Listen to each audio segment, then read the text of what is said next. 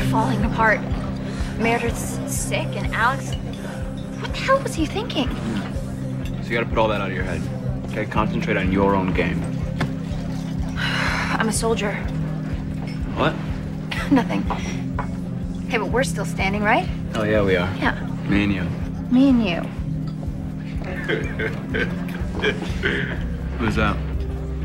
Oh, guy who thinks I stole his job. He hates me. So what? He's a douche. Ah, and here he comes. Nah, dude, just don't. No, no, I, I want to apologize. I was a tool this afternoon. No hard feelings? Sure, yeah, no problem. No problem at all. I'm sorry. You have nothing to be sorry for. I mean, best man wins and all that stuff, right? Or woman, whatever. Yeah, he's had a few beers, you know what? And he got bad news today, all so I'm we're just. saying is, obviously, she can offer something that I can't offer. All right. Everybody's a little wound up, all right? So big day tomorrow. Maybe you should um go sleep it off. Are you the boyfriend? Yeah, you should watch out next year, because uh, Ted Stevenson likes himself a redhead. All right. Okay, Think Kevin. You can leave. Or maybe you found that out already. Is that how you got the job? Oh, bitch! Hey, look, you need. Really? You want to go? Yeah, bitch!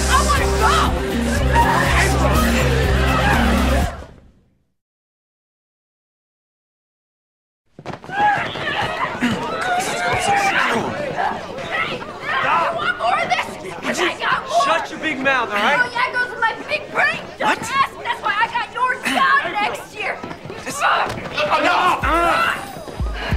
Oh, now, if anyone is still here in 30 seconds, you're barred from the test.